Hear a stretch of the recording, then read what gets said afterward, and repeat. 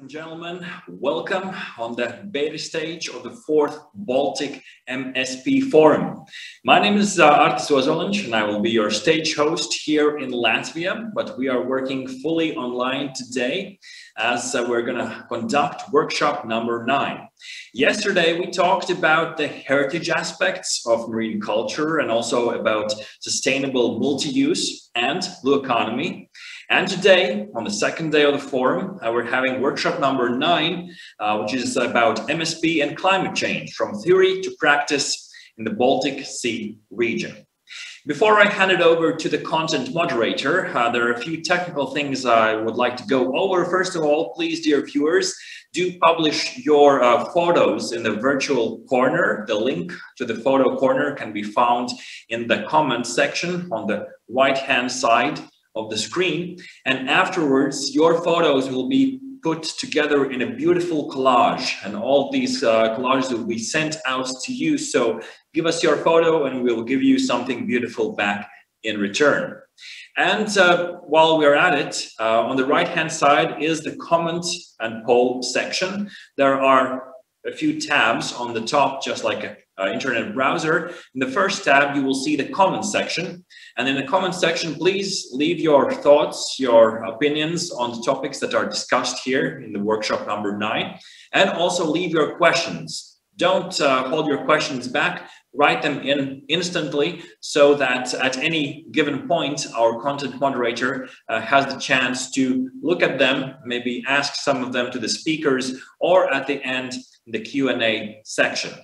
And uh, from time to time, there will be a poll announced, a question to you uh, with uh, possible given answers that uh, the speakers will use during this session. And that can be uh, found in the second tab on the right-hand side of the screen. Uh, so do use that as your ideas and thoughts will be used throughout this workshop. All right, let's uh, turn to our content moderator. She's an assistant researcher and lecturer at the University of Lisbon and an invited researcher and lecturer at Nova School of Business and Economics in Portugal. She's been conducting research on marine spatial planning and ocean sustainability for over a decade. And for the past five years has been focusing on the links between MSP and climate change. It is my honor to hand over the session to Dr. Catarina Frazão Santos. Catarina, the next hour and a half is in your disposal. Good morning, everyone, and thank you so much, Artis, for the kind introduction. Uh, welcome to Workshop 9 on Marine Spatial Planning and Climate Change, from theory to practice in the Baltic Sea region. Um, so as Artis said, uh, climate change is really a challenge to marine spatial planning, and I have been dedicating some time to this hot topic. Um, so climate-induced changes uh, in ocean conditions and marine ecosystem structure and functioning, and this will lead to changes in the distribution and intensity of uh, ocean-related human uses. And this will lead to new conflicts between uses, new, new pressures on the environment, and also legal issues. And all of these are at the core of marine spatial planning. And for that reason, marine spatial planning needs to incorporate these challenges and dynamics to be sustainable in the long term. And this has been a, a, a topic that is getting more and more attention around the globe. And today we will hear about these challenges and solutions uh, in the Baltic Sea region. So the agenda for our workshop today includes five presentations. We will start with national marine spatial planning experiences from Sweden and Denmark um, by uh, Joacim Johannesson and uh, Henrik Skovmark, respectively. Then we will hear Markus Meier on climate change in the Baltic Sea and the Earth Expert Network on climate change. Then Jonas Pålsson will talk about the assessment of climate change impacts and the ClimeMarine project. And finally, Oscar Törnqvist will address climate refugia in the Baltic Sea and the, Bal the Pan-Baltic Scope project. We will also have, as Artie said, two moments with polls throughout the workshop and also a question and answer session after presentations. So I strongly invite you to pose your questions using the comments box during the presentations. Uh, and you also may identify the speaker that they are addressed to if you want to, and we will get to them at the Q&A session. So with no further ado, we will first hear from Joacim Johannesson on the experiences from Swedish MS Marine Spatial Planning. Joakim is a senior analyst at the Swedish Agency for Marine and Water Management, working with MSP since 2011, so a decade now. He's co-chair of the, HELCOM VASAB MSP working group. He's the Swedish delegate in the EU member states expert group on MSP and national contact point for EU-funded Pan-Baltic scope and capacity for MSP projects. And he holds over 20 years of experience in public administration. So Joacim, the floor is yours. Uh, thank you very much, uh, Catarina. Well, uh, first I have to say that uh, it should have been Ella my colleague, who, who should have made this uh, presentation, but unfortunately she's not able to attend. So I will do it instead of her. Uh, and before going into the uh, actual topic, the uh, climate change aspects in, in our process, I will say a few words about the state of play of the Swedish planning. Uh, we, uh, my agency, the Swedish Agency for Marine and Water Management, submitted a plan proposal to the government in December 2019. And the government is still preparing the plans for adoption, uh, and hopefully there will be an adoption soon. Meanwhile, uh, our agency uh, and the government administration is preparing for their publication and their application. Uh, SwAM is SwAM, that's my organization, is also elaborating a framework for monitoring and follow-up. And that will be out for consultation once the adoption of the plans have been made by the government. That was the background. Now I will turn to the, yes. Uh,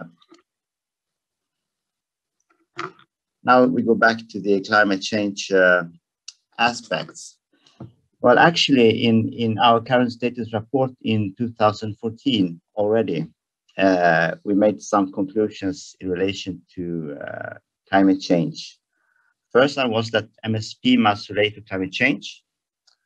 And that is, of course, because climate change will impact the seas and opportunities to use the sea, and that's quite obvious. We also concluded that knowledge on climate change must be incorporated, uh, like all other knowledge, and it also has to be the best up-to-date knowledge. And also finally, and that's really important, that MSP actually can contribute to both mitigation and adaptation and resilience. Uh, so that was the points of departure for our process, as stated in, in, in our current report in 2014. Well, we also did a, a, very first baseline analysis, a kind of initial analysis uh, presented in this status report.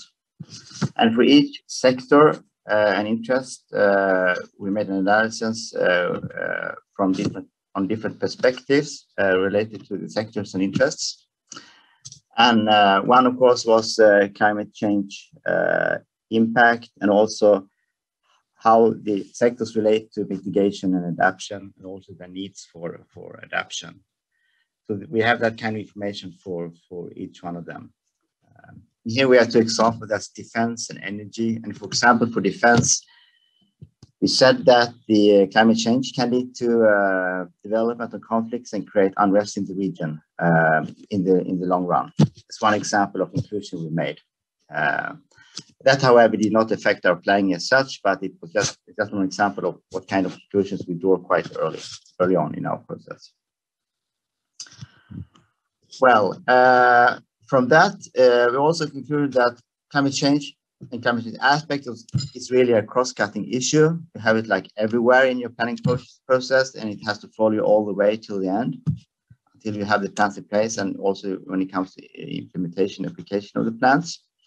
But we also came to the conclusion that we should focus on offshore wind uh, for mitigation. Uh, and also that biodiversity, of course, is essential uh, when it comes to adaptation and resilience. Uh, and also a very small issue in our plans, but it's there, that's sand extraction. Uh, they can also be part of these uh, adaptation measures, uh, even though it's, it's sometimes highly debated, but it's there. As for other sectors like fisheries and shipping, uh, of course, they are affected by climate change as, as the biodiversity, as the ecosystem is changing. But it's difficult to predict the special consequences, uh, also making it very difficult to translate into specific, specific planning solutions. So actually, there we didn't do much in our planning, but that's something that will come back, I, guess, in the future. Well, uh, here we have uh, one plan, uh, as I said, submitted in 2019. This is plan for the Baltic Sea or the Baltic Sea proper. And we have three plans, uh, one for the Bothnian uh, Bay, one for the Baltic Sea, and one for Kattegat and Skagerrak uh, by the west coast of Sweden. And the city you see behind me is located in this in in in, in Skagerrak on the west coast of Sweden. Uh, and we have included the classical uses in our plans like energy extraction, defense, uh, nature. We also have fisheries, which is not so common, but I think might be more common in, in future when there are more uh, uh more demand for space and there are more competition between users. So, uh, well, uh, first I will start with offshore wind. Uh, Initially, it was not a, very prioritized uh, uh, use, but it became more and more important as time went by. Um, and in the end, we had an ambition of uh, making a plan that could facilitate the, an annual production of 50 terawatt hours. Uh, maybe that's difficult to relate to that, but uh, the total Swedish consumption, the yearly consumption is about 140 terawatt hours. So it's, it's substantial. Uh, however, uh, we met a number of conflicts uh, in the current management and planning system. Uh, and we had conflicts with nature conservation, course, because normally the places for offshore wind, uh, good for offshore wind, also good for, for, for, for certain species. And also we have huge conflicts with defense interests, in particular in the Baltic Sea.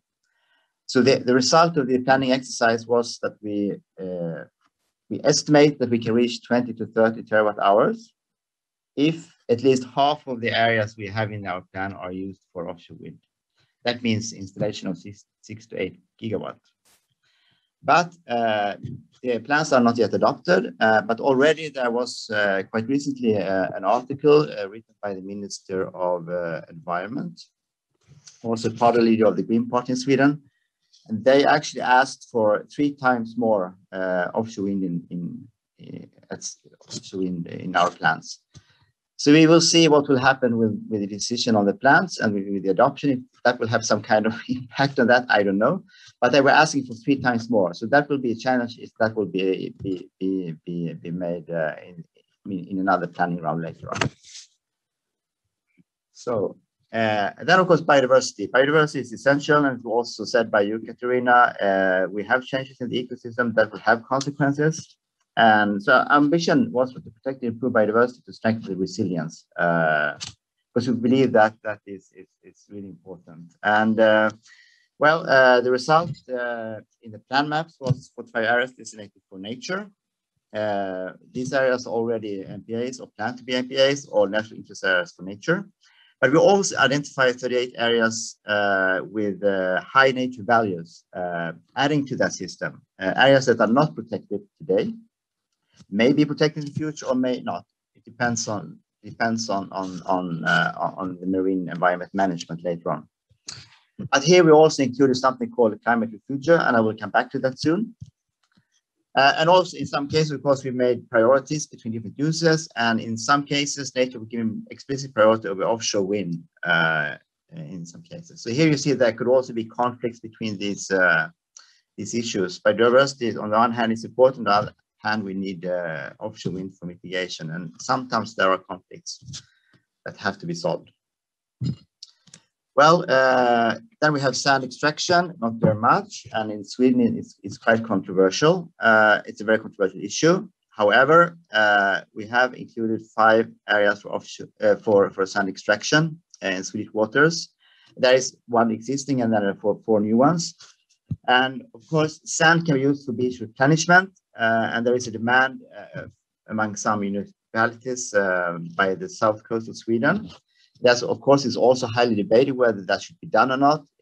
make, does it make sense to, to constantly replenish the beaches or shall we just accept that there is a change?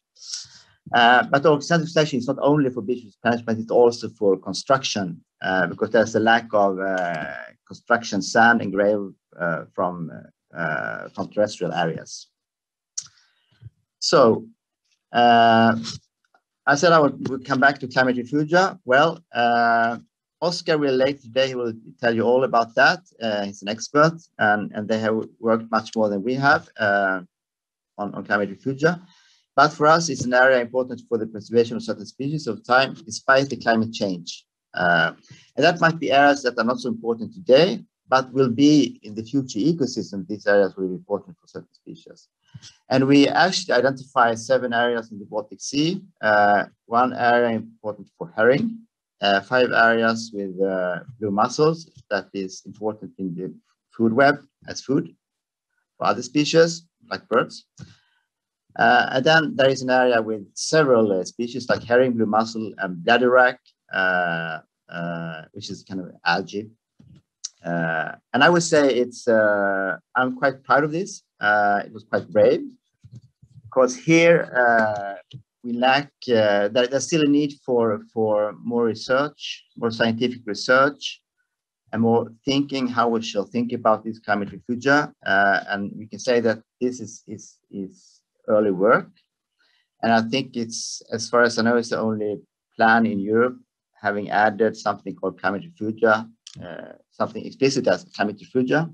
On the other hand, as I said, if we protect the biodiversity, we will also protect the future climate refugia probably. So this is kind of the top of the biodiversity, uh, the little extra you can do uh, uh in relation to climate.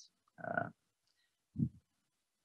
so my concluding remarks. Uh, I cannot repeat it too many times. Biodiversity, biodiversity, biodiversity. If you work well there, uh, you will also be better prepared for the future, even the future you don't know everything about. So, so, so really, uh, to apply an ecosystem approach, that's really uh, basics when it comes to climate change. And as I said again, more research is needed for climate for the climate concept, uh, and that's coming around the world. But we need more uh, in relation to MSP, we think. And we hope that this area will, will persist in the plan once also in the adopted plans by the government, because that will be very important. Uh, and then finally, uh, when it comes to renewable uh, energy, uh, it's cert certainly they can bring climate benefits, uh, but to what extent really depends on the natural situation and the time perspective, because we did this uh, sustainability assessments to try to calculate the benefits, and that's that's tricky Because in Europe, we have this uh, EU emission trading system, meaning that you can, by increasing the renewable energy, you can also increase other types of bad energy. That's one thing. And also it depends on, on the natural situation. Uh, for example, in Sweden, uh, some nuclear plants have been closed. And of course, if offshore wind is, is the nuclear plants, you will not have these huge benefits, even though there will be benefits when it comes to, to emissions. So it really depends. Uh, but I still think uh, in, in, the long run and in this very global picture, of course, renewable energy is extremely important uh, uh um, for mitigation. Uh, but I just want to highlight that it's, it's not that straightforward always when you start to calculate and, and see the figures. Uh, so I think that was my my last slide. So I, I stop there. Thank you. Thank you, Joacim, for such an interesting presentation. And I have to say that I love the, the sentence on biodiversity, biodiversity, biodiversity, because I also agree that if we get that right, we have half of our problems uh, well addressed. Um, so I kindly remind the participants that you can use the, the comments box and add your questions there to Joacim, and then we will address them all during the question and answer session at the end of the workshop. And we will now hear from Henrik uh, Skovmark, who will talk about marine spatial planning in Denmark and renewable energy as a tool to meet climate change. Henrik is Chief Special Advisor at Danish Maritime Authority, and he has led the work with the first Danish Marine Spatial Plan for the past three years. So Henrik, the floor is yours. Thank you, Catarina, and uh, thank you for the invitation and the possibility to participate today. My name is Henrik Skovmark, and I'm a Chief Special Advisor at the Danish Maritime Authority. Um, I will also start with uh, a little bit of, of background. We have sent our MSP into public consultation for six months by uh, the end of March uh, this year. Uh, the MSP is legally binding while in consultation, and we uh, expect the adopted MSP to enter into force by uh, the end of this year. I will give you a, a, quick run through the Danish MSP today and focus on how we use um, renewable energy and nature protection as tools to meet uh, climate change.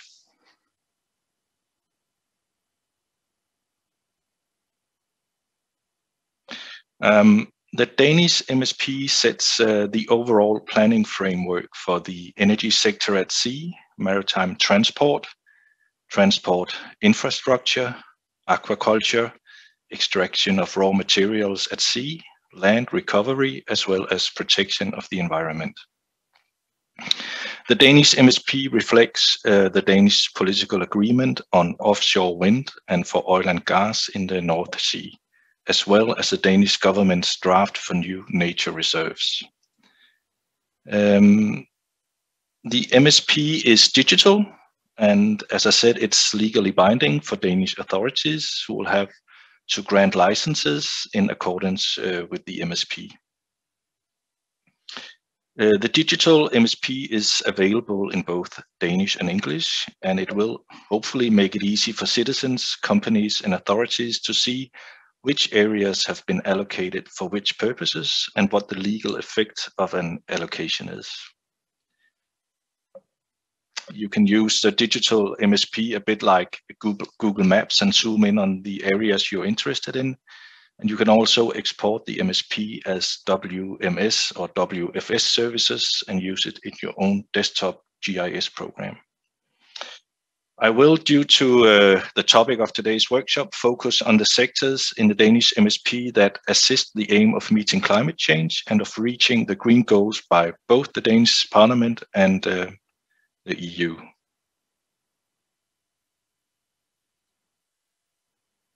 Um, Denmark support EU's offshore strategy, and uh, we have set ambitious goals for the green uh, transition the development of green technologies at sea is a key tool to achieve these goals. In the Danish MSP, we have therefore designated more than 15% of Denmark's total sea area to renewable energy sources. This will contribute to Denmark being able to comply with the Paris Agreement on the reduction of greenhouse gases and achieve the target of 70% CO2 reduction in 2030 and climate neutrality in 2050. Denmark becomes the first country in the world to begin construction of two artificial energy islands, one in the North Sea and one in the Baltic Sea near the Isle of Bornholm. The energy islands will have a total capacity of 5 gigawatt and are scheduled for completion by 2030. Denmark has also decided to accelerate other projects to a total of 6 gigawatt offshore wind, or more than three times Denmark's current capacity.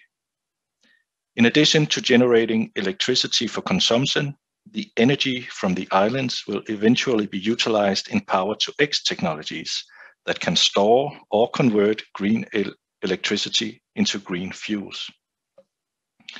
The Danish political agreement includes a tender to support the establishment of large-scale power-to-X plants with a total capacity of 100 megawatt. This is more than five times the capacity of the largest plants found in the world today. The MSP sets the overall framework for long-term expansion of renewable energy at sea as demands increases in the transport sector, in the industry, and in the society in general.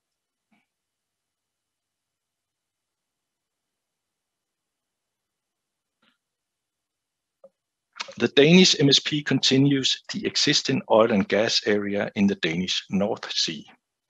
but a political agreement on this matter from December last year means that oil and gas extraction in Denmark will cease no later than in 2050, and that Denmark cancels all future rounds of tendering. In order to remove CO2 from the atmosphere, the Danish government has also decided that it shall be possible to capture and store CO2 in the Danish seabed, seabed in the same part of the North Sea.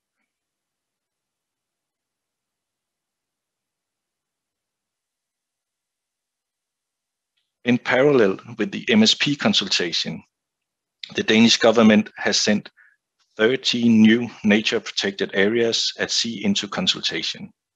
These areas will follow up on the obligation in the Marine Strategy Directive. The government has proposed strict protection in 12 of the 13 areas.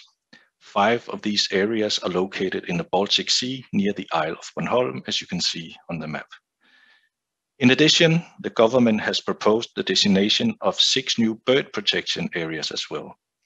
These are the spotted areas on the map, and one is located in the Baltic Sea, southwest of Bornholm.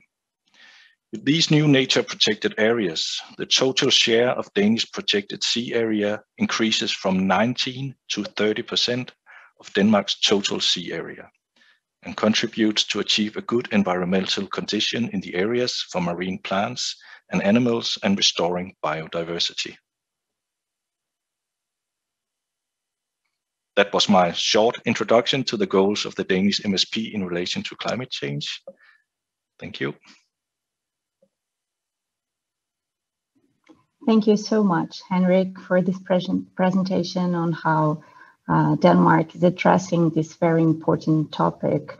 Um, so now we have our first two polls and you can go to, you have to switch from the comments to the polls tab on your, on the right side of uh, your screen. And the first question for all of the participants and speakers, if you want to, is in your opinion, is climate change a major challenge for marine spatial planning in the Baltic region? And answers can range in a scale from one to five, where one means not at all, not at all uh, relevant, and five, very much relevant as a, cha a challenge.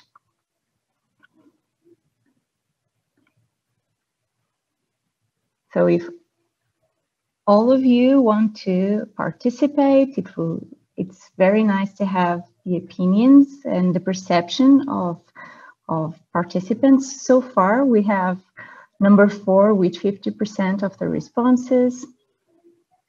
So we'll just wait for a little bit more time to see if we get more participations.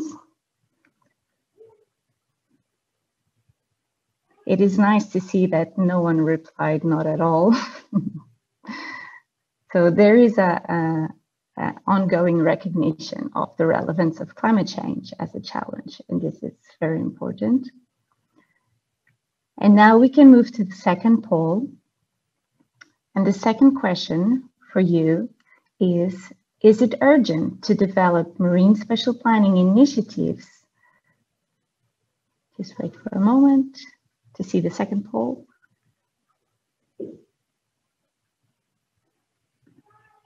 Okay, is it urgent to develop marine spatial planning initiatives that properly integrate the climate change dimension? And again, your answers can range from not at all to very much.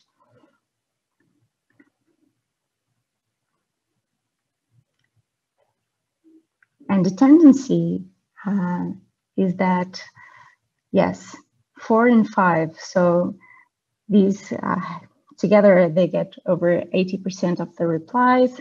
And this means that, yes, you, you agree that it, we need to start developing these marine spatial planning in initiatives that integrate climate change properly. Thank you so much for contributing to this.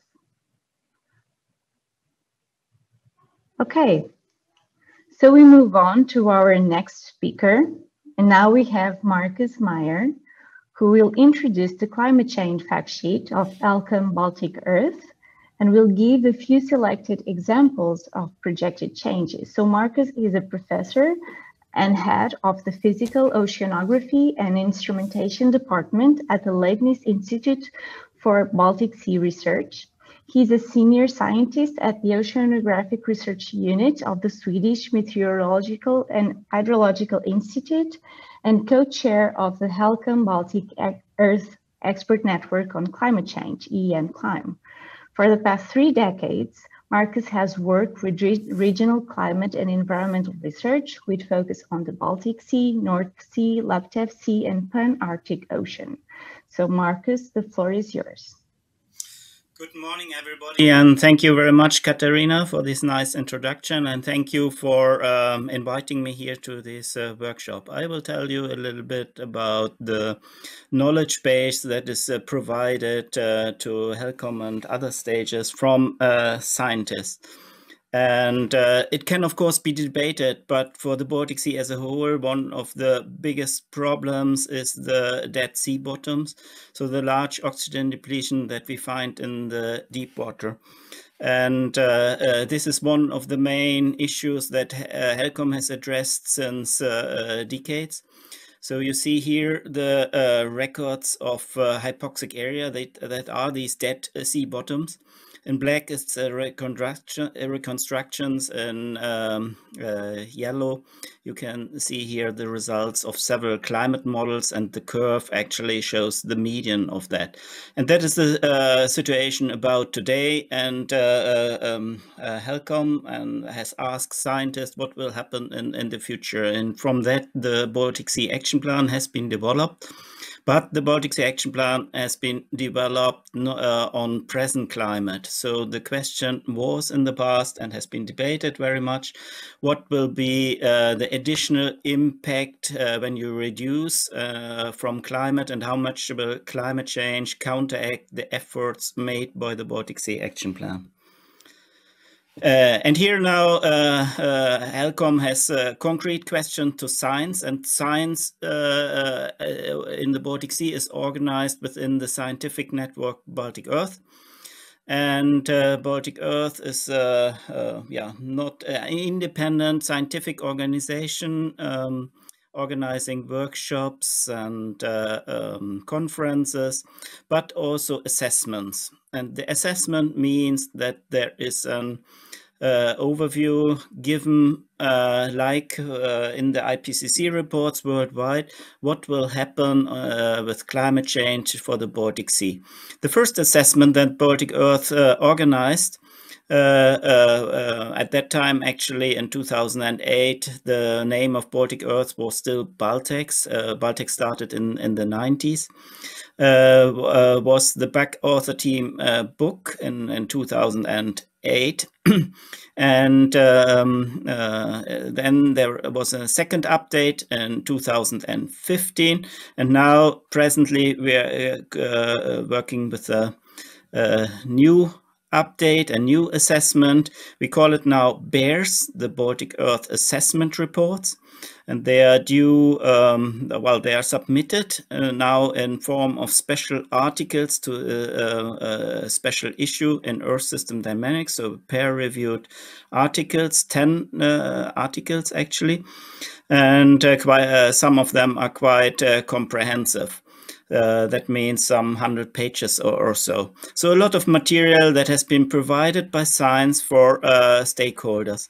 And therefore there is, uh, was this long-going uh, collaboration with HELCOM that already from the very first book in 2008, HELCOM produced an own uh, report uh, of climate change, uh, translating the comprehensive, uh, huge material into um, information for stakeholders. And I should say here actually, sorry, that these um, um, assessments are built on consensus and dissensus. So this is not that this is just a review of the literature that we know uh, about the impacts of climate change. It is also an assessment in the sense that it is uh, uh, weighted if there is a consensus about scientists or a dissensus. So for instance, if there are two papers stating of opposite uh, uh, messages, then this is written down, not hidden. That is the basic principle on these assessment reports. And I think that's uh, very important. Um, so we go on. Uh, actually, the format uh, has now changed how Helcom, uh, together with Baltic Earth, translate this information into uh, stakeholder information. It's not a report anymore. It was now decided to have a climate change fact sheet. The climate fact sheet uh, was produced by a group called EN Clime, the expert network of uh, on climate change.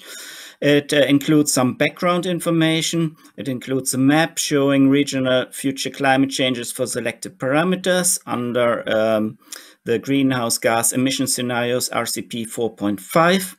It uh, uh, gives information about 34 parameters we call it them direct or indirect parameters. Direct means that is the directly affected by climate change. Indirect uh, are then um, uh, um, depending on the direct parameters. For each of the parameters in the fact sheet, there's a brief description, past and future changes, knowledge gaps, policy relevance and references. And the reference uh, um, base is actually the scientific literature, in this case, the BEARS the Baltic Earth uh, assessment reports. More than 110 scientists from all of the Baltic Sea countries contributed. So that was a really success that we have uh, so many uh, support supporters to this work. Uh, the work started at the end of uh, 2000 and well, it was launched in 2018 and uh, started in 2019. And the publication is now planned for September 2020. 22, uh, 21, so this year. And um, uh, here you see an overview, what is in the fact sheet or what will be in the fact sheet. It is not uh, finalized yet. Um, the direct uh, parameters, for instance, are air temperature, water temperature, sea ice, and so on. And they are grouped in different uh, groups under the energy cycle, water cycle, carbon and nutrient cycles, sea level and wind or momentum um, uh, cycle. And the indirect parameters and uh, are then the dependent ones, uh, for instance, oxygen, the microbes, microbial communities, processes, benthic habitats, and so on, fish, marine uh, mammals, water birds, under biota and ecosystem groups. Then, uh, but also then uh, human activities, coastal protection, offshore wind farms, and so on, and services, blue carbon storage capacity or marine coastal ecosystem services. You will recognize that the list is of course not complete. 34 is rather limited, but uh, actually it uh, was not possible in the time that we had to address all the parameters. And it is planned to have this fact sheet um, therefore regularly. So in a few day, uh, years time, there will be an update and then hopefully based on the response that we are getting, there will be also other parameters addressed that we do not have in the list today. So briefly, what is the uh, basis? And the basis is the assessments, uh, what I said, but here, uh, and these are based on the uh, scientific literature. What can we expect for the uh, Baltic Sea in the future? The upper panels show air temperature changes for winter and summer and the lower precipitation changes. And uh, uh, from left to right, you see uh, uh different greenhouse gas emission scenarios from the Paris Agreement, that's the RCP 2.6, to the warmer uh, and perhaps unrealistic RCP 8.5. What is striking, independent of the season, the Baltic Sea is warming less than the surrounding land. The largest warming you find in the wintertime in the in the northeast in uh, for precipitation, there is an overall uh, wettening. Uh, actually, it is less clear uh, for summer in the south. There are uh, uh, uncertainties in the Uh, models as well, and the signal is rather faint. But we expect that overall there is a wettening in in the region. Uh, uh, very important are also climate extremes for the ecosystem. And here I give you one example uh, these are so-called tropical nights. And tropical nights are defined as days where the minimum temperature does not fall below 20 degree. So people like to make their holidays at the shores of the Baltic Sea because of the moderate climate. But in the future, we expect here actually the largest, largest changes uh, concerning um, um, uh, these tropical nights, uh, because you see clearly that of um, that uh, uh, in addition to southern Europe, the Baltic Sea is a hotspot of the changes. And now back to my introduction uh, slide, hypoxic area. Here we have produced now, with the help of models, um, the different projections for the future, including climate change. So the Baltic Sea Action Plan is actually the red curve, but then there are also other nutrient loads that have been combined with the different um, uh, uh, greenhouse gas emission scenarios. The reference one in blue and the worst case in um, uh, pink. And uh, uh, what you can see clearly that despite of the counteracting effect of climate change, uh, there is an improvement implementing, fully implementing. These are idealized. I mean, assuming really the numbers from the uh, from HELCOM, that the ecosystem state uh, will uh, definitely improve. It might not get the same. Um, um, uh, the same improvement as in the uh, as without uh, climate warming, but uh, um, there is a clear improvement. So uh, the message here is, if there is a successful implementation of the Baltic Sea Action Plan, it will help despite of the climate change. So I give you a few selected results now at the end from the fact sheet. Uh, and uh, due to the time constraints, I have only five. So the first one is about sea surface temperature. Uh, it is projected to increase, and here it's really an average about several uh, uh, over several models and uh, over the entire sea surface. Uh, from 1.1, that is the RCP 2.6, so the Paris Agreement, to 3.2, that's the worst case, RCP 8.5 by the end of this century. Uh, in addition, the maximum sea ice extent or the sea ice cover will further decrease. During the past two decades, it has been observed that the uh, ice cover uh, decreased. There are no severe uh, winters anymore. But now uh, the projections suggest that the Bothnian Sea, on average, will be ice free at the end of the century. Number three, due to the large uncertainty in projected freshwater supply from the catchment area, wind and global sea level rise, Salinity projections show a widespread trend and no robust changes were identified. And that is compared, uh, that is uh, relatively new information uh, based on more models that we have uh, pr produced than in earlier times. So the message that has been around that salinity will necessarily decrease is not correct anymore and should be included then in the MSP. For acidification, it's a little bit tricky because it depends not only on the atmospheric uh, uh partial pressure, but also on alkalinity. In the past, it, alkalinity has increased and counteracted uh, pH. So the acidification in the Baltic Sea was uh, always lower than in, on the world ocean. We do not know how this evolved, but uh, doubling of uh, PCO2 will still result in a lower pH or in an increased acidification acidification.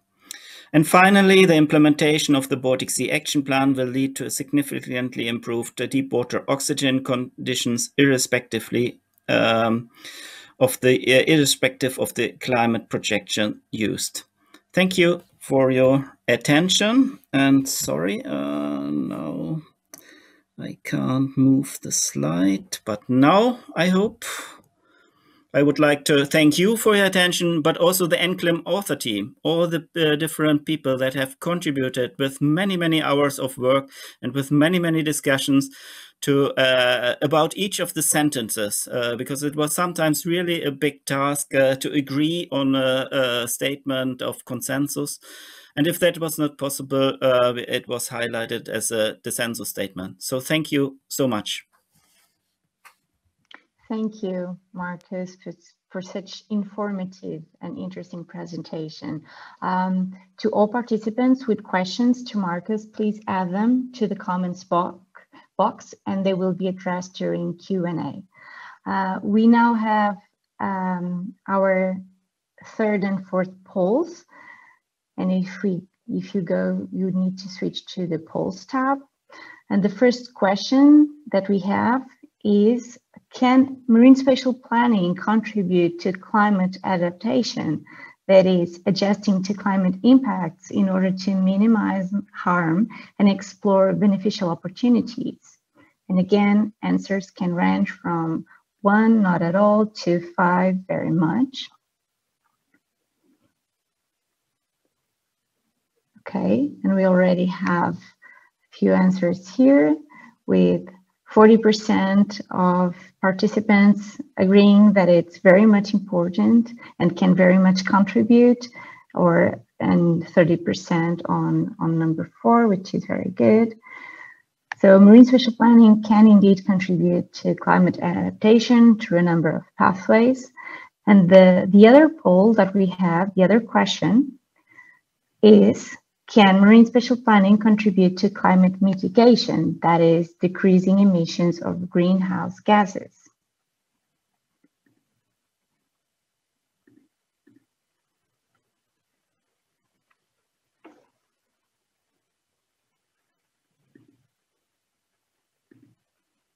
I would wait just for a bit, but it seems that everyone agrees that yes, it can contribute very much to this.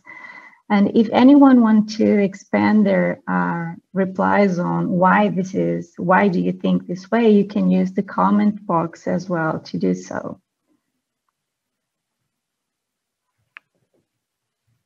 Let me just check. Yes.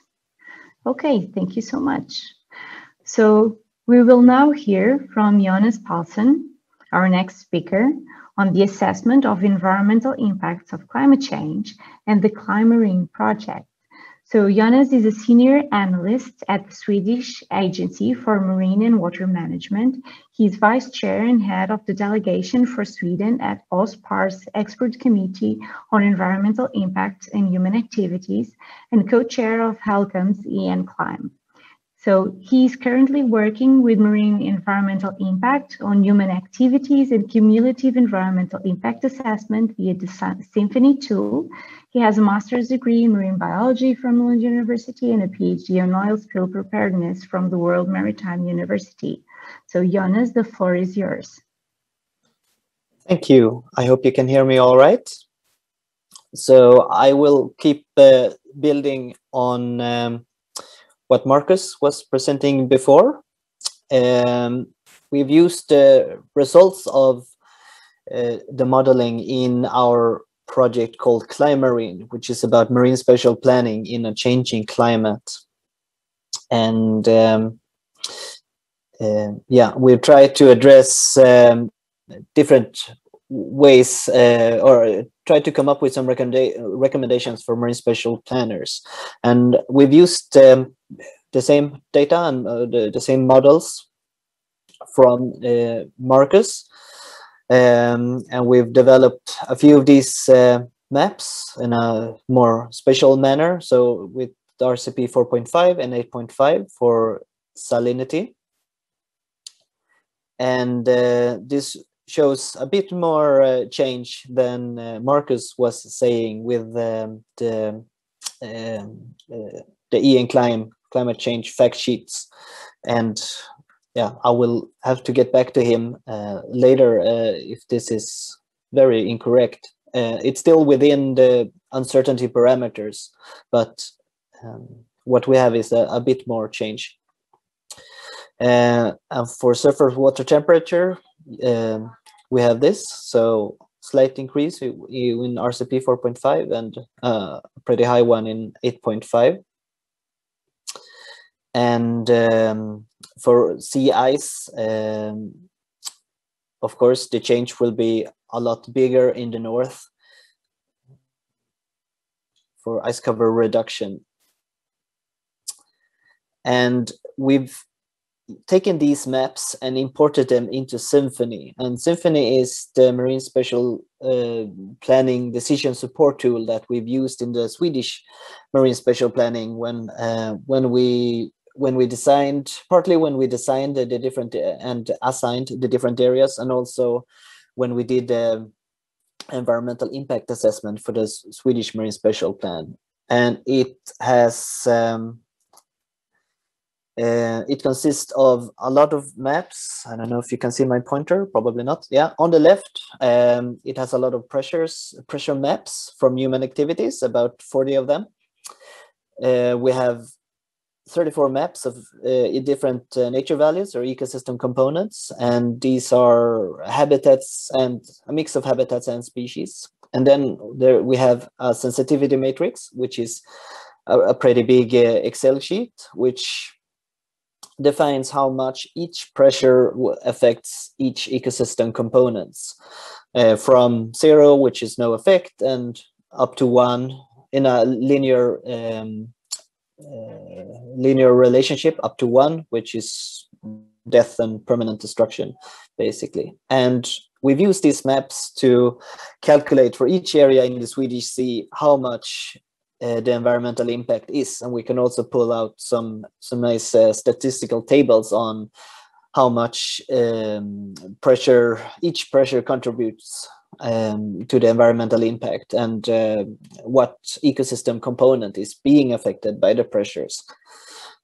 So using this system, we've imported the marine uh, the climate change pressure uh, maps that I showed before, and we've come up with maps like this. So um, on the top left, you see the west coast uh, with only the symphony, and uh, then with the climate uh, as the symphony stuff that's in there now. And then uh, the more greenish map on the right is what we have with the climate change uh, added on top. Uh, the maps in the middle shows the Baltic Sea, and the maps on the right shows the northern part, so the Bothnian Bay. And uh, let's see if this clicker works. Yeah. Uh, and here you can see the difference. So in different areas uh, where you have the, the purple and the brown, you can see a lot. There are certain areas that have a lot more impact than other areas, even if the climate change impact, of course, um, is uh, how do you say sea wide, sea basin wide. Uh, and in the Baltic Sea, there are a few areas that uh, are more affected, and the same with the Bothnian Bay. Um, and as Symphony models the environmental impact in the Bothnian Bay to be lowest, the, the largest um, relative increase to current impacts is in the Bothnian Bay. Um, it's about 268 percent additional marine uh, uh, environmental impact in this area due to climate change. But if uh, we look at the numbers, it's actually on the west coast that um, the actual numbers is the highest uh, per area. And if we run this 8.5 scenario, um, it is of course looking the same uh, just uh, very much higher. On the west coast, we're looking at 117 uh, percent increase in environmental impact. In the Baltic Sea proper, it's 129, uh, with a lot of uh, these areas showing a, a, big change. And in the Bothnian Bay, it's the same as well, but with even more areas being heavily affected by climate change. Um, in the it's the same pattern here with the largest uh, relative increase uh, to existing environmental impacts in the Bothnian Bay, but the largest numerical increase is in the Baltic Sea for the uh, 8.5 scenario. And uh, all of these results are coming, uh, are, are being um, yeah, we are writing up the final results and we'll publish this at the climate uh, Marine project webpage at um, uh, the lead partner SMHI uh, the, on their webpage. I can put a link later in the chat. And the main messages that we have for marine spatial planners is that the climate change impacts at the end of the century is on the same scale as all the other environmental pressures combined. So this will have a huge impact on uh, on the marine environment for sure, uh, regardless of the uncertainties and everything. This will be a really big deal, and all of these models, both uh, uh the climate change stuff and the symphony stuff, is based on a lot of assumptions and has a lot of uncertainties. But uh, we have been using the best available data and the best uh, models, global models, and and the regional models to uh, to calculate these impacts. So this is by far the best we have. So even though there is a lot of uncertainties, this is um, yeah really top science.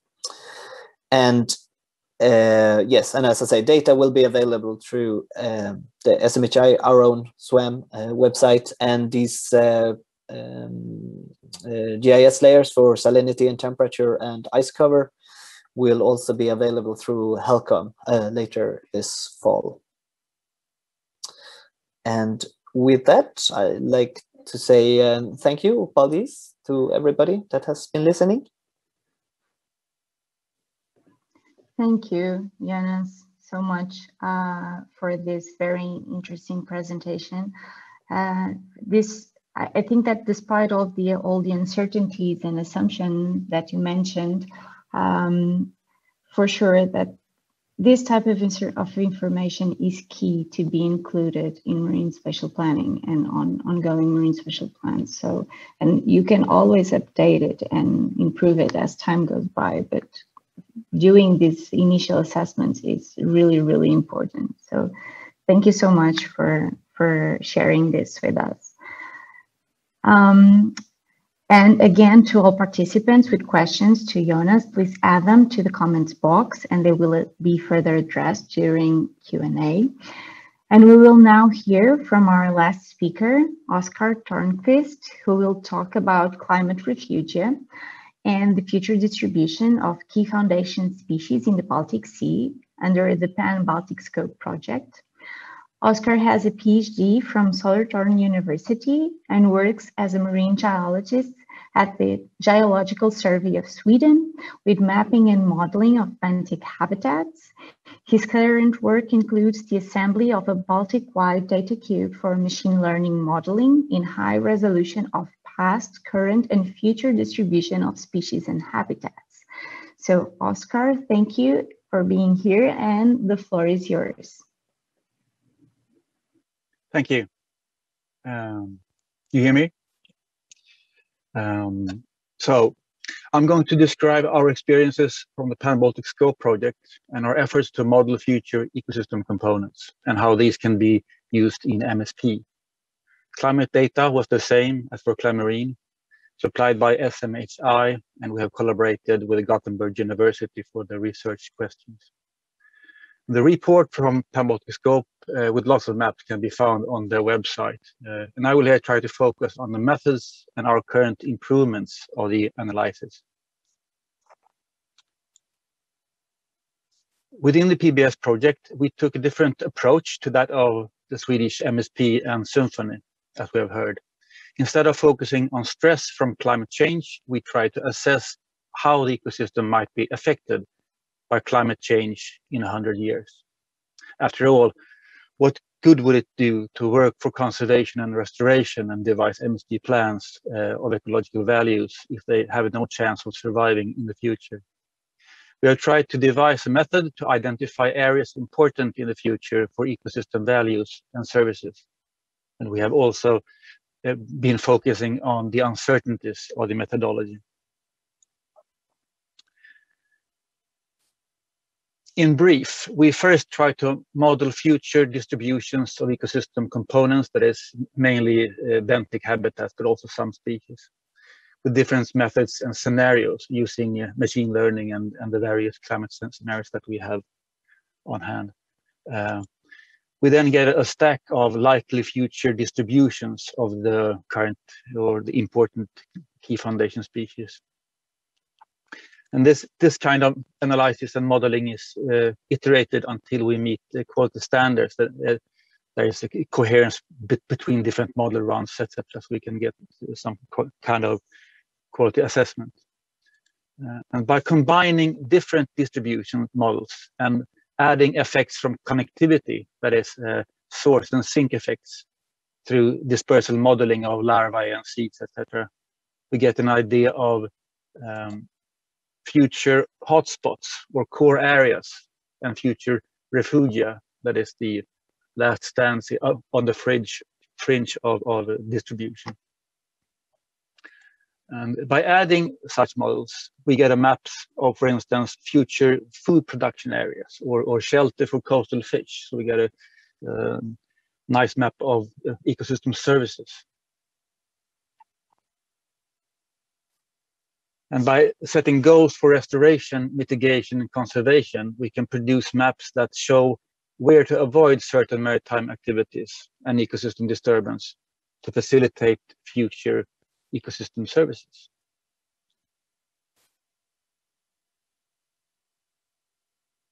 Hello? Okay. Uh, we tried this kind of modeling for a dozen key species in the Baltic and concentrated on change of temperature and salinity at the time.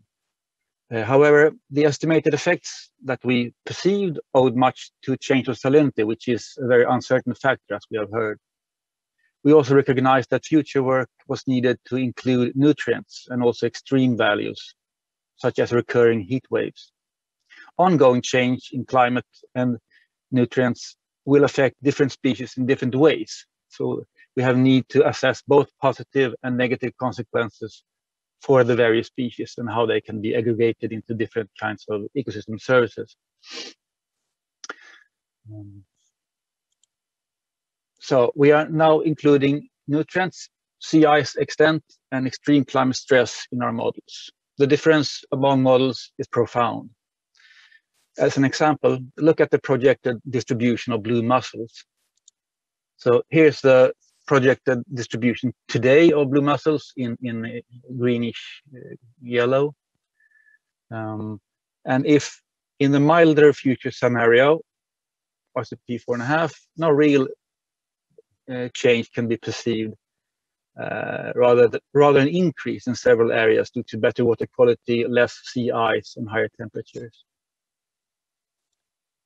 And given the uh, harsher future scenario, a bit more change, primarily in the central Baltic due to anoxia and uh, uh, yeah.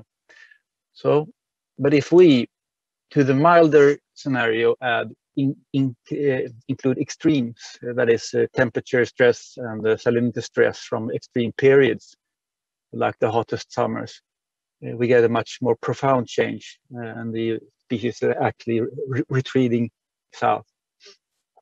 And in the harsher scenario, including extreme, that, that paints a really bleak picture for, for the blue mussels in the Baltic due to temperature stress, spread of anoxia, and perhaps lower salinity.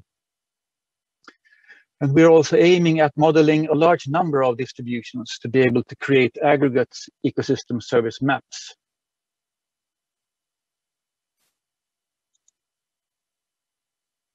Um, okay. Oops.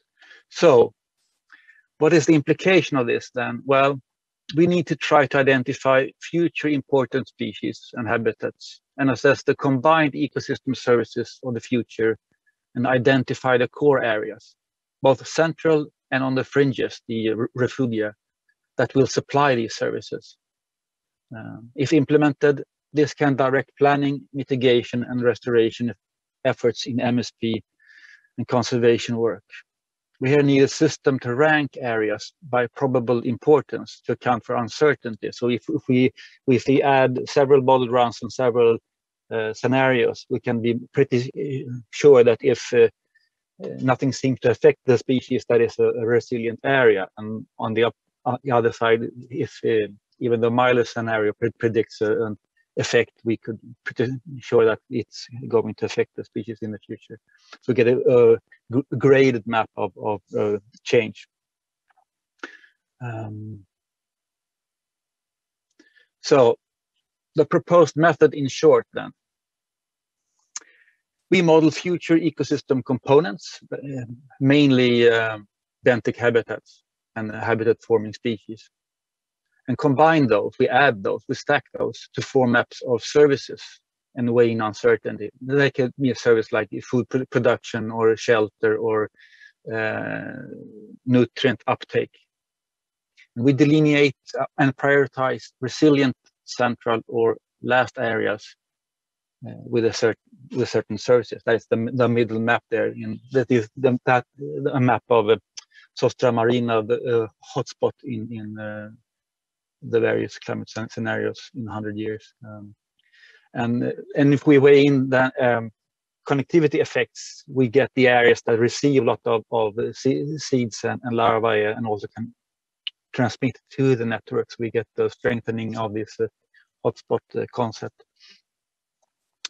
Uh, and we need to be realistic when working with mitigation and restoration with the future in mind, perhaps it is realistic to stop trying to restore the eelgrass meadows or other sensitive species that are that thrive in a more marine environment. And instead focus on conservation and restoration for the species that will dominate in the future and which perform the same kind of ecosystem services. For instance, coastal wetlands and breeding grounds for, for, for pike. Um, So thank you. That was my presentation. Thank you, Oscar, very much for this final presentation that really links very well to the previous ones and to the initial one uh, mentioning the climate refugee and the relevance of mapping uh, all these changes in ecosystem services and how we need to protect uh, and preserve uh, biodiversity to ensure uh, sustainable marine spatial planning. So we will now uh, proceed to the Q&A part of the workshop and we will address the questions that were posed already by participants during the workshop on the comments uh, section box. And for those of you who haven't done it so far, if you want to, please uh, write your questions on the comments box and we will address them. Uh, now we have 20 minutes to do this. So what I will do, I will go through uh, the questions that are already posed and we can start from here. So the final, the, the first question that we had, uh, it was during uh, um, the first presentation. It, it was from Stefan Husa, and he asked, how much resources do you need to be properly able to take climate change into a country's, region's marine spatial planning process? How big a part should the climate change part be of the whole marine spatial planning process? 20%, 50%, or 90%? And this could be open to all the speakers.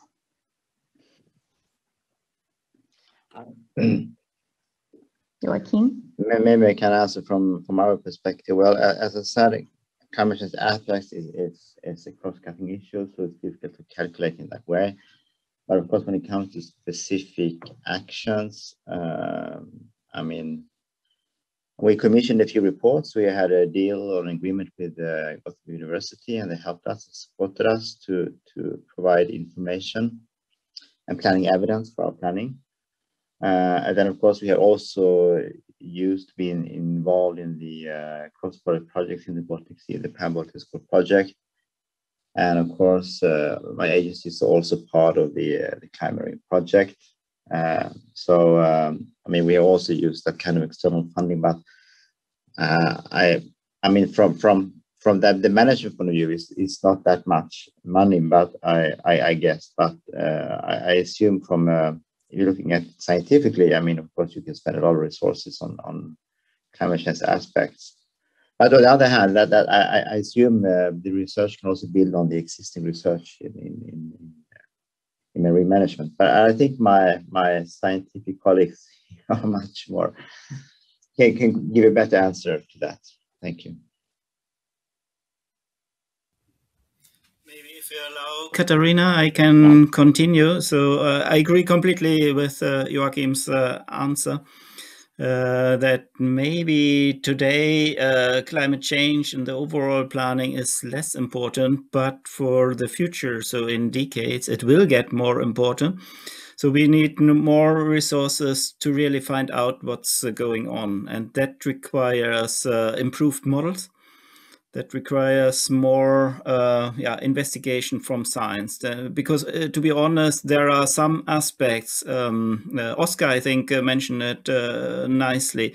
Our knowledge about changing extremes, we do not have really much knowledge yet. And to really put this in, this information about changing extremes into the planning, we need more research, more research on past records that is difficult because, uh, well, in the Baltic Sea we have uh, a couple of very long, nice records, but it's not enough for really addressing, uh, for uh, instance, heat waves. And for uh, producing better models and uh, also to have the uncertainty aspect in, included more models really to in, investigate large sets of ensembles. And that is rather time consuming and requires more resources so I think from that perspective, uh, a lot of resources should be put to the climate, although it is maybe not today um, the most urgent uh, driver. And I agree completely. It's a multiple driver, a multiple stressor approach that we are here looking at. Thank you. Thank you, Markus. I fully agree with what you said about uh, being a challenge for the future, but depending on how we want to take care of the future, we need to start thinking about it today. Um, does any of the other speakers want to address this question or add something?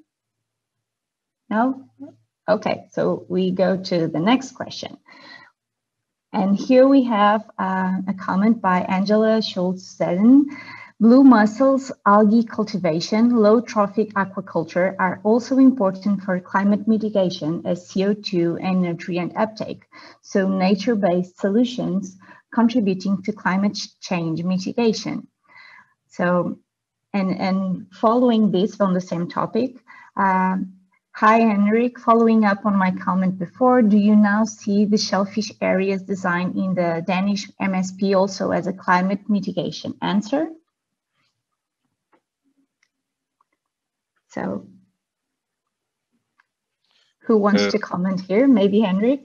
Yeah, from from our perspective, the, the, the, the shellfish uh, designated zones was not meant as a part of uh, mitigation climate change, but of course um, they have that uh, expected uh, effect. But again, I, I, think maybe the scientists among us can can can talk more into to depth about about that um, aspect.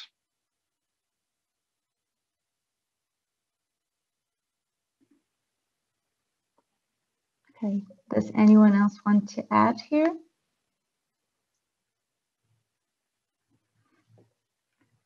No? Okay, so we go to the next question. Um, by question and comments. We have both together. So Suzanne Altwerner, Altwerter uh, asks, the idea of climate refugia presented by Joacim is very promising. Would it be feasible to even provide flexible zones to adapt more easily to changes on fish stock or mammal, mammal movements?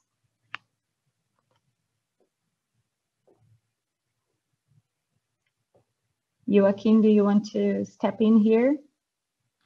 Well, I don't know if I understood the question, but uh, in, in, in, in our case, uh, these area are designated as area where you should take uh, particular consideration when you want to in management or when you are seeking permission for something.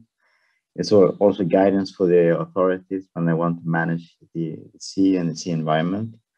So that way it's quite flexible. Uh, we are not very pre prescriptive, prescriptive uh, about what should be done, but it's more like the plan is signal will take care, uh, take it easy, and and uh, really look into the matter and, and make good decisions. So that's how it functions in in in in, our system, and also um, knowing that this is kind of early work, uh, and we also heard about the predictions. Uh, there will be some changes. Uh, we don't know how much and, and, when, but they will come, and we we have to act act on that. But uh, at the same time, it's, it's, it's early days, also scientifically. So um, that's why uh, the areas we have designated are also areas that are important for other reasons. So that's how we can can argue for them. But to give this kind of extra on the top information that is also climate refuge, and that's also a, a good way of, of, communicating that there is something to be protected in the future that we might not see today. Um, when it's come to this kind of active management, if, if that was meant by the question, uh, I mean, active management that you you you change things at the day-to-day basis. I mean, that you have in fisheries.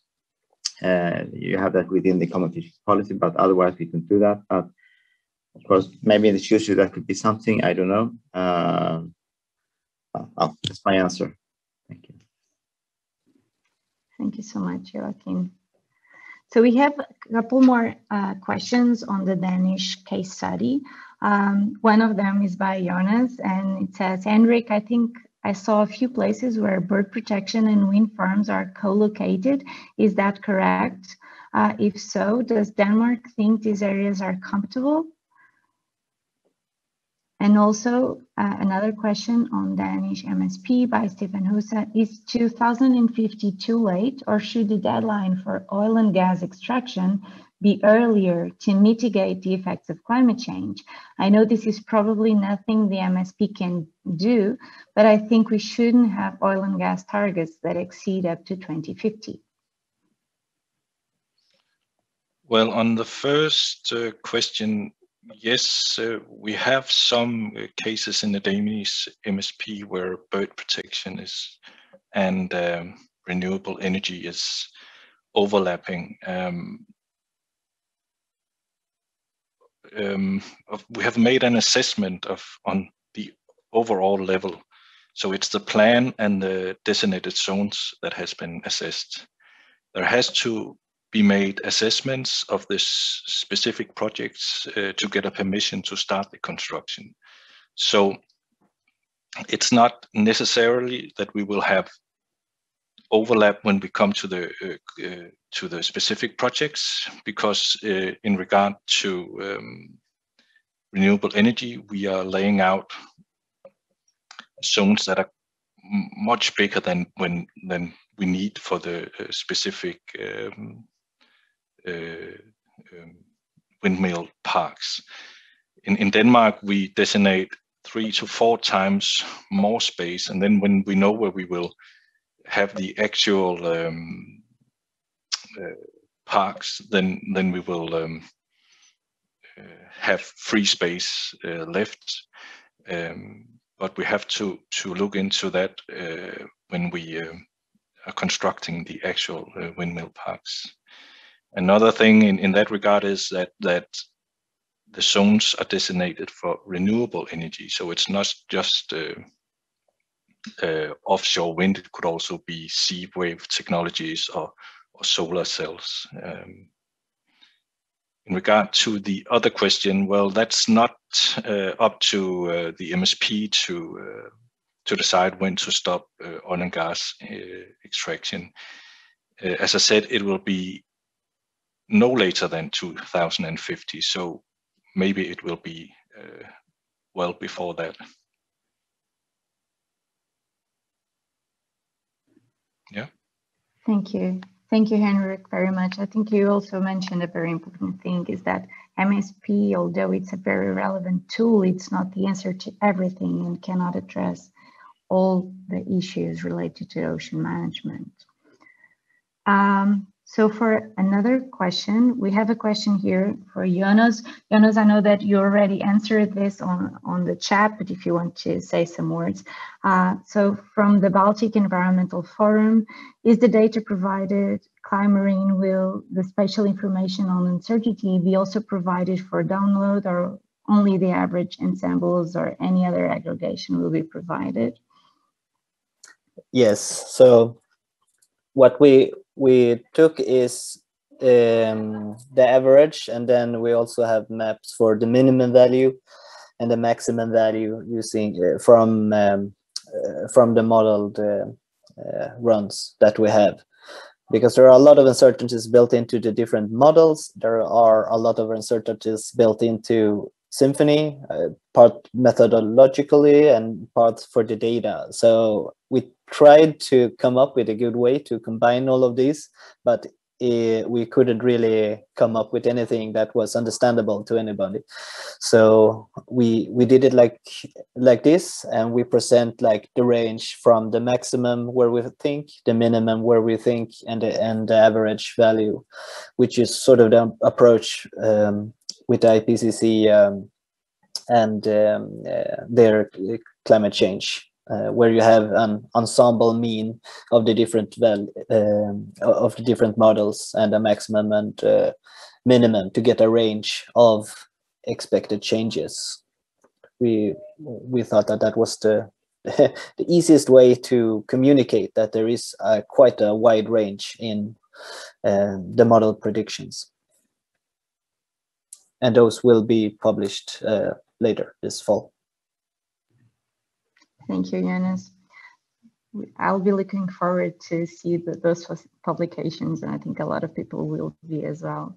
Um, another question, and we have time for two or three questions left, uh, by Stefan Huza.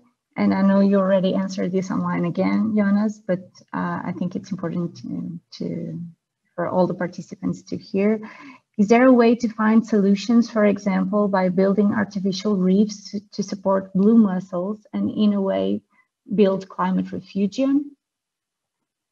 Um, yes, the problem is, uh, I mean, even if you build a perfect habitat for a species, if the if if the environmental conditions, um, salinity and temperature change, then the animals can't live there. It goes for all the different animals so that's that's why these climate refugia sort of uh, ends up where where they are um, because they can't be built or created artificially in any other place uh, probably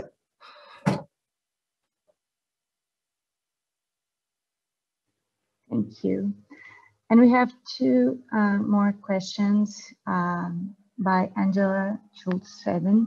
Uh, and these I think are for both Oscar and Jonas. To what extent have you taken low trophic aquaculture into account as a potential climate mitigation method as algae take up CO2 and there are many studies ongoing on the potential effect of low trophic aquaculture uh, uptake of CO2.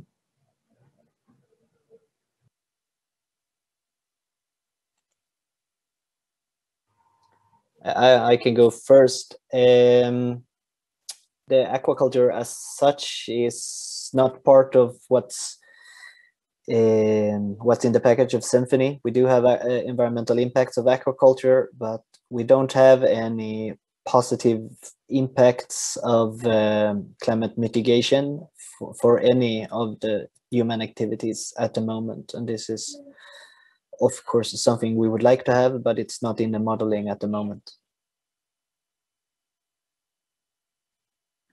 Oscar, would you like to add yeah, something? I, yeah, I think it, this is rather a question for, for the climate modeling as such to add to, to, to the scenarios where we have mit mitigation in the uh, hydrological and nutrient mod modeling. Thank you. So we are reaching the end of our workshop and I would just, and we don't have more questions on the chat. So I would ask a general question to all the speakers. Uh, so in the Baltic Sea, we are, we are happily seeing a lot of initiatives to including climate change in marine spatial planning, but in, unfortunately, this is not the case all over the world. So what do you, would you uh, suggest that should be done to increase the awareness on how urgent it is to include climate change in marine spatial planning in other areas? And I know this is a tricky question. but if, if anyone wants to step in with any comments. I can go first. Uh, I mean, this is down to dissemination through all the marine spatial planning, like conferences like this one, and also if there are other international um, projects or conferences going on. And for example, the UN bodies like IOC, UNESCO, to to um, and and the work that they are doing on international MSP guidance, uh, for example. Thank you, Joacim. I I, um, I, I totally agree. This is something we need to talk about, and we need to do it now because the kind of change is is happening. So we can't wait for that. Uh, at the same time, we have to be realistic. Uh, it's difficult to predict the climate change. It can be a little bit scary to to deal with it, and uh, and sometimes it seems like a huge, huge issue in MSP, but I would say it's not. I mean, we work with uh, biodiversity at a daily basis. We work with offshore wind, and even sometimes we work with aquaculture, even though not so much in the Baltic Sea, at least in planning, but it might be doing the future so to to to have it at uh, I mean we have to present it in a realistic uh, uh in a realistic way. Uh, so um, and, and be, be, clear that uh, MS, MSP is not is not expect, expected to, to, solve the climate change issues. It's just one instrument out of many uh, in the marine management that have to deal with that. So Mean that kind of message, I think it, it might be more interesting for others to actually look into it uh, with open eyes. Uh, and actually now there are a lot of plans around, so uh, we can discuss it. Uh, we have, we have had a baseline for, for, for this work and maybe also some examples. Thank you. Thank you, Joacim. Does any of the other speakers want to say any final words? Maybe I okay. can uh, uh, add here from the research perspective. So I think dissemination is very, very important, as uh, Iona said, and the experience that we uh, had in the last uh, two years from this collaboration between HELCOM and uh, Baltic Earth, the scientist, uh, was very good because then we could really uh, address uh, uh, the in our discussion the uncertainty aspects because uncertainty is uh, uh, well manifold. It has been said already. It's the models but it's also natural variability something that we can nothing do about. And this kind of discussion if we can uh, take this in on a level that everybody understand what this climate information is about and that is, for instance, in the form of this climate fact sheet, then it will trigger the awareness, um, the awareness also for other regions, not only the Baltic Sea, but for other coastal uh, seas um, that are also, um, well, under the pressure of, uh, um, yeah, under the anthropogenic pressures and that will then help really to uh, take the right uh, initiatives in, in my opinion. So i think openness and uh, fair information about what we really know and what we do not know because unfortunately a lot of wrong messages uh, are around about climate change. And i think we should stop that uh, by this kind of uh, discussion. And i'm very happy to be here at this workshop um, to discuss these issues with you. Thank you Thank you. Thank you so much, Markus, for your final words. And we are uh, on time, so I would like to thank all the speakers and all the participants for being part of this workshop. I think these initiatives, I agree what Markus and Jonas and Joacim said, are very important to raise awareness. Uh, we will now have a, a 30 minutes break, and then there will be the workshop recap with summaries from all workshops that took place during the forum. And so thank you so much for the invitation to be here and for all the very nice discussions. Thank you. Thank you. Thank you to everybody and a round of applause to our excellent moderator, Dr. Catarina Frazão Santos. Thank you for making this happen together with all of the speakers. Thank you so much for this Thank you. workshop on the crucial topic of MSP and climate change. And uh, thank you also from my side and from the organizers to all the participants on the platform. You were amazing. Uh, I hope that the speakers take, take some time and go through the questions there because there was another world, another discussion going on while, while you were presenting here. So it was amazing to see how we all joined on this platform. So uh, you all were in kind of a way uh, part of the success of this event. So thank you very much. But ladies and gentlemen, it's not uh, it's not ending right now. We're just closing down the beta stage, but everything will continue on the main stage. As uh, Katrina also already said, there will be a recap of all the uh, workshops on the main stage in 30 minutes. And afterwards, uh, there's going to be a keynote speech and a closing plenary session. So please do attend that. And that is going on right here on this platform in the uh, tab main stage. So please do go there in 30 minutes, uh, be there, and let's continue this forum there. Uh, for now, my name is Artis Ozolinch, and I wish you a very pleasant day. Goodbye.